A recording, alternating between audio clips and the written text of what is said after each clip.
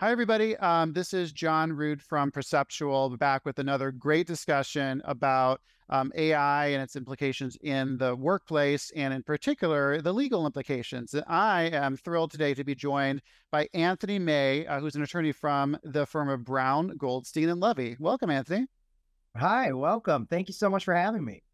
Uh, it was my pleasure. We're going to have a super fun discussion today. Um, the the goal is to make a lot of this, these developments, I think, in the AI world, um, really accessible to HR leaders, to um, to executives, um, to internal legal folks. Um, so I think your background is going to be really great for that. I wanted to start. Um, I'd love if you just kind of give a, an introduction as to your, you know, yourself, your background, and your firm, and and the work that you're doing in the AI and uh, in the HR worlds. Happy to. So I am a, an attorney at Brown, Goldstein, and Levy. I've been here for about seven years. Um, we are primarily based in the Baltimore, Washington, D.C. area, but we do a lot of litigation um, across the country. Um, and we are first and foremost a litigation firm. So in any any way, shape, or form, if you're going to court, we're we're the firm that can handle it. Um, we've got really skilled lawyers here. Um, but over the last, you know, since our inception, I think in the 90s, um, we've been around for a long time. One of our biggest focuses has always been um, social justice issues, public interest oriented issues. Um, and my practice specifically, I do a lot of that in the employment context um, and particularly representing people with disabilities. Um, and so that's one of the big focuses of my practice is representing clients with disabilities who have barriers imposed on them um, in the employment context. That's an amazing background. Um, thanks for thanks for doing that work. And I, I wanted to dive in there because that's a discussion I don't think that we've brought adequately to to our own audience. Um, so last year, as you're certainly aware, and our audience may or may not be aware, um, the kind of the when the EEOC first started to dip its toes specifically into discussing AI, they put out this release that basically said, and, and I'll let you uh, talk more about it, but that, I guess I, I, would introduce it as it was in relation from uh, the from the uh, American Disabilities Act um, hiring of um, folks with disabilities and AI tools. So I'd love if you could just start at a high level. So what is what is EEOC's interest here? What are you seeing out there? And for you know, as for us as HR practitioners, you know, we're we're trying to get this right. We're trying to do the right things. What are the things that HR leaders should be watching out for, specifically around AI and folks with disabilities? Yeah, of course. So, I mean, when we talk about AI, it's become such this popularized term now. It's this hot buzz, you know, buzzword that's used. But AI has been around for so long. I mean, we have been using it in the employment context for years. Uh, employers have been using it. And so, what we've seen more recently emerging is the use of AI, and primarily in two, I think, specific areas. And that's in the hiring process and in the employment um, review and retention and promotional process. And so what we see now is these technologies being used more often to kind of streamline those processes, make it more efficient for an employer, particularly with larger employers. It gives you an opportunity to, for example, go through uh, resumes a lot quicker um, or assess somebody's productivity. The problem with that is that AI can be used sometimes intentionally and most of the time, but most of the time not intentionally. Um, it can have a disparate impact. And so what we we talk about in the legal world is these disparate impact claims. While you might have a tool that is used and designed to be very objective, it can still have impacts on a particular group of people. And when we see, particularly with people with disabilities, um, AI can sometimes not understand or compensate for those disabilities. And so, what do I mean by that? Well, so particularly in the hiring process, you've got um, AI creating job postings. So you know, Chat GPT is the is the new fad, and everybody loves Chat GPT, right? Um, but it can be used in a way. So if you're creating a job posting and you tell Chat GPT, I need you to create a job posting for an entry level, um, you know, program analyst, data analyst, you might get something that looks great. Um, but in the law, we talk about things called the essential functions of the job. And when you're talking about a, a person with a disability, can they, with or without reasonable accommodations, perform the essential functions of the job? And if they're not hired for a position because a you know a job posting says that X, Y, and Z are an essential function, but really they're not, and they're being excluded from that job because an employer thinks, well, they have this disability, they can't do this, therefore they're not qualified for the job that's discrimination under the American with, Dis- with Disabilities Act. And so those are the kinds of ways that AI can be used um, in a way that can eventually discriminate against people. Um, another another um, way that we see AI being used is through evaluating resumes. Um, and so, for example, if you've got AI being used to screen through resumes and you get hundreds of thousands of different resumes, the AI is being used to uh, assess those resumes based on people who have been in those positions and succeeded in those positions. Well, when the AI tool is being fed information on what does it look like to be successful, and if you are being successful and you happen to be a middle-aged straight white man, and that is all of the information being fed to the system, it's going to screen out people um, with disabilities. It's going to screen out women. It's going to screen out um, people who are non-white. And a famous example of that is in 2018, Amazon actually stopped using an AI system that was uh, systematically screening out women applicants, female applicants. Um, and so, eh, but it, when we're looking further than that, um, for applications purposes, a lot of time there's uh, virtual testing or virtual uh, interviews that are conducted through AI systems. Um, and they, those are looking for specific reactions, specific facial um, expressions, things like that. Um, and when that happens, if you are a person with a disability who doesn't have control, let's say you're a person with cerebral palsy, and you don't have control over your your facial expressions, or you don't have neurological control, AI might see that as, oh, this isn't a good this isn't a good uh, applicant. This isn't somebody who's going to fit the job description. Um, that is discrimination. And so, what applicants need to be aware of, and what employers need to be aware of, is you have to provide them notice that AI is being used, and you have to give them an opportunity to request a reasonable accommodation, or in other words, a different way to be assessed on those same kind of qualifications. Um, same thing really kind of applies to evaluation. So if you're looking at somebody's, uh, if somebody is in the workplace performing, and you're looking back at well, how have they they performed? Are they, you know, should they be up for promotional opportunity? Should we fire them? Um, you've got to take into account if, if it's somebody with a disability and maybe their productivity is impacted by that disability, you've got to consider that. And AI doesn't always do that. Um, and so those are just kind of some of the ways that AI can be used in the employment context that can have a disparate impact. Yeah, those are really good examples. Um, so let's say uh, let's say if I, am an I'm an HR manager and let's say I'm you know I'm aware of these issues generally and you know we've we've all been trained on how to think about um, you know providing reasonable accommodation and you know being on the right side of ADA. Um, it seems like AI in in some ways has thrown a wrench into this where now there are more concerns. In some ways, it's just the same laws and they're just being applied to a new set of tools. So I guess if you if you take your legal hat, but also put on kind of like your your HR leader hat, if you were running, you know, a, a, a mid-sized HR department, how do you start thinking about those issues um, related to ADA? Like what should you actually do as you, you know, evaluate tools, evaluate methodologies? Um, what steps should we be taking?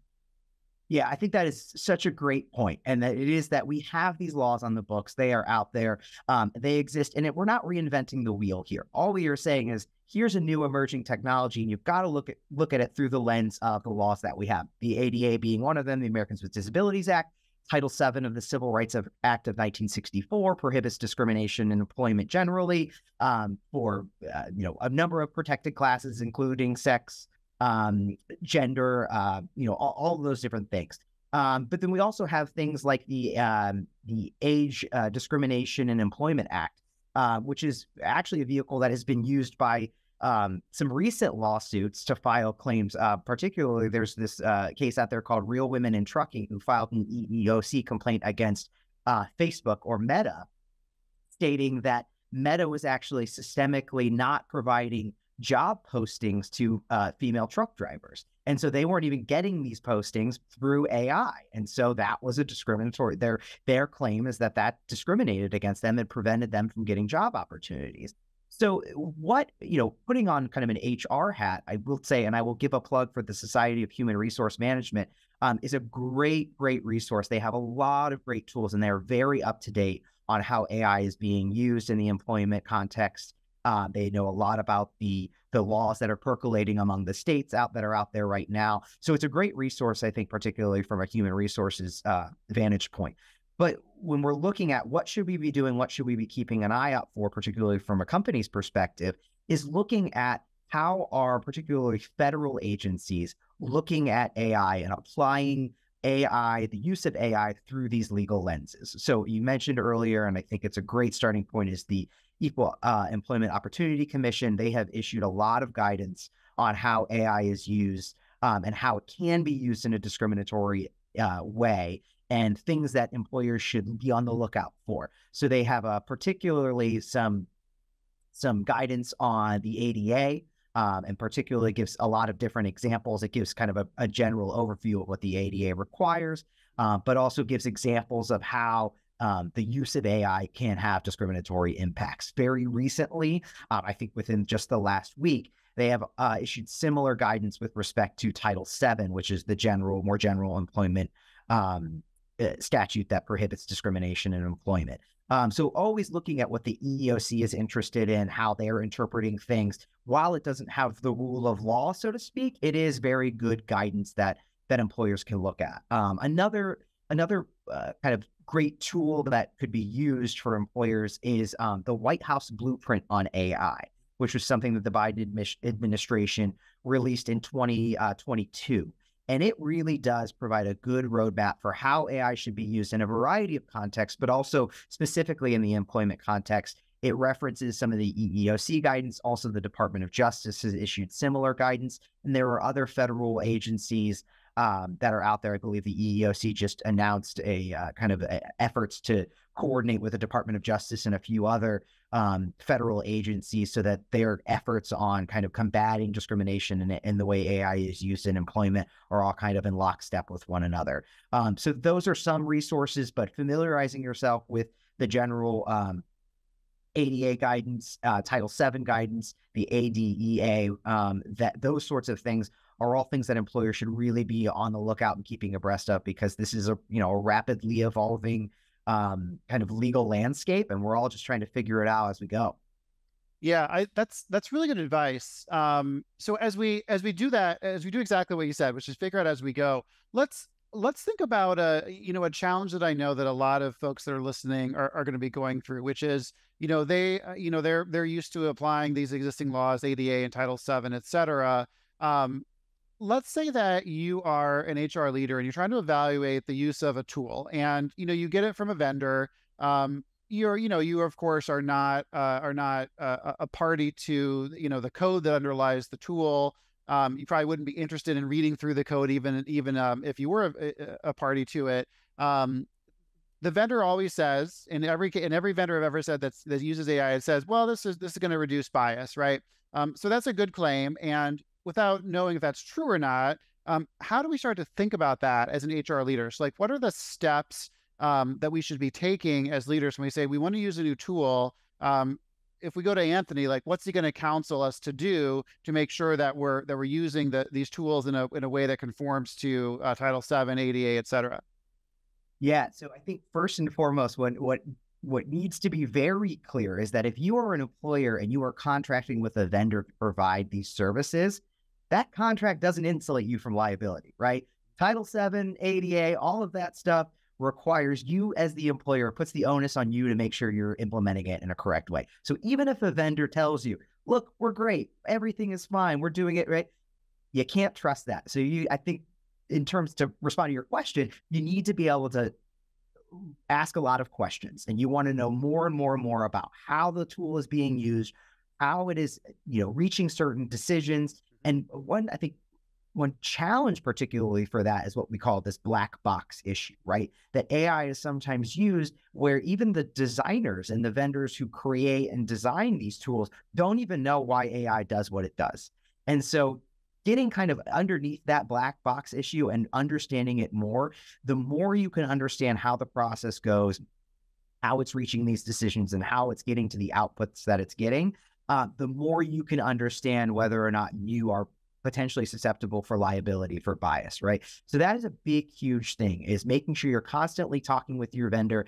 And um, I think the, the other biggest thing is really performing these routine audits, right? And that is something we see particularly in one of the newest laws. Um, when I think one of the first laws in the country, the local state laws, is New York City has just recently passed a law that is about to take effect um, that limits the use of AI in employment if it's going to have discriminatory impacts and also requires routine audits of these systems. And so talking with your vendors, consistently doing routine audits to ensure that um, that you are not doing things like unnecessarily or even you know, intuitively without any sort of intent um, having some sort of outputs that could be viewed as a disparate impact or could be viewed as having a discriminatory impact. So having those routine audits, working closely with your vendors, and not being afraid to ask questions and push back, I think is really, really important because you don't want to be caught in a position where you're told by your vendor everything is a okay, and the next thing you know, you've got a class action lawsuit against you. Obviously, you want to avoid that. Yeah, I think it's great advice. And you know, one of the challenges that a number of of our clients have is, you know, they come to us because they want to start uh, the compliance process for the the New York law that you'd referenced, New York Local Law 144, um, which we, we we write a lot about. You know, I know that you've written about recently as well. Um, New York Local Law 144 is quite prescriptive in in in what's re- required, right? So among other things, we have to perform the audits, which you were just mentioning, and those have to be done on an annual basis. And I think that one of the challenges that um, people are running into is, let's say that they they do that, great, like that, that that's hard work, but if you get it done, like it's clear what what you need to do. But for the federal regulations for Title VII, for what EEOC does, it's not really quite clear, like what's required, right? So, so New York says you have to do this audit and produce this result. Here's the exact chart you need to do. You need to do it once a year. EEOC says like, well, you better not discriminate, uh, you know, period, right? So, how should you think about that? Like, if you are it, it, let's say that you're you know you're located in California, so you're you don't have to do the things for local law 144 in New York, but you have to do something for the EEOC. What is that something that you need to do? Yeah, so it, it's a great point, right? And we we're again at this very kind of starting point about how are things going to be regulated, what are the requirements, and really the answers we don't quite know yet. Um, but what we can't, what we do know is that we have these general laws and things like California are good guiding posts. So even though, uh, or I'm sorry, New York are good guiding posts, right? So even if you're not in New York City, but you see that New York City has this more developed law, you can look at that as a guiding post for California to say, look, New York is requiring this. If we, uh, it's probably likely that the, the state of California is going to adopt similar regulations. In fact, I know that in 2018, um, the uh, California passed the California Consumer Privacy Act um, and is now just now starting to update its guidance on that uh, that act so it can start kind of considering what do employers need to look at when they're ter- in terms of automated decision making, AI technology, stuff like that.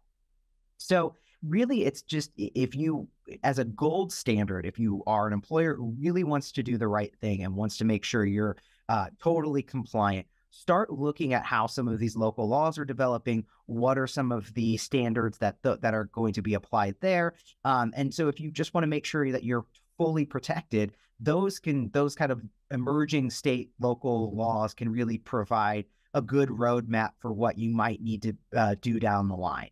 Um, but you know, we don't have right now. We don't have a lot of cases out there interpreting federal laws that say this is what is required. So it is, you know, we can kind of put together some mishmash of what this law says and what this law says and kind of get a, a good roadmap of what we expect. But until we kind of test this and until employers, you know, you know, uh, unfortunately, I think there are some employers that out there that are going to do the bare minimum until they're told otherwise.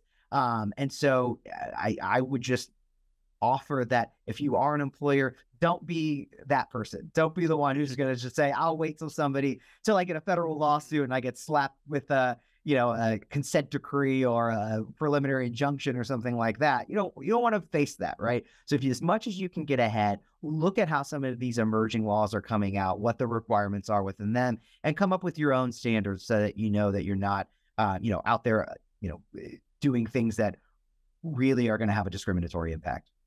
Yeah, that sounds like great advice. Um, are you seeing a lot of your, uh, your, you know, your clients on the corporate side? Are people asking you about this, or does it feel like it's still like early days in terms of um, people knowing what they should be doing?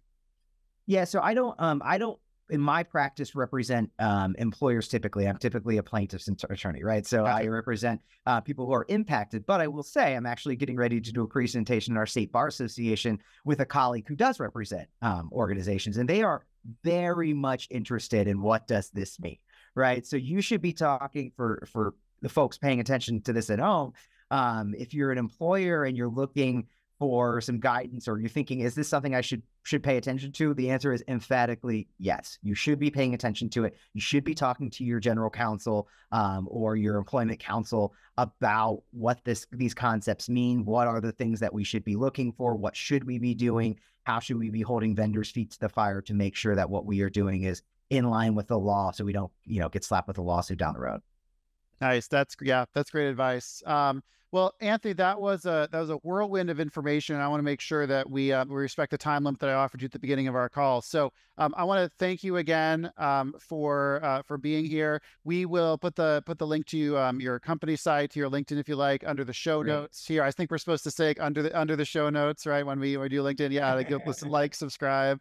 Um, so folks can get a get a hold of you um, if they like to be in contact. So thank you so much for your time, and I appreciate you joining us today. Greatly appreciate the opportunity and thanks for all the good work you're doing.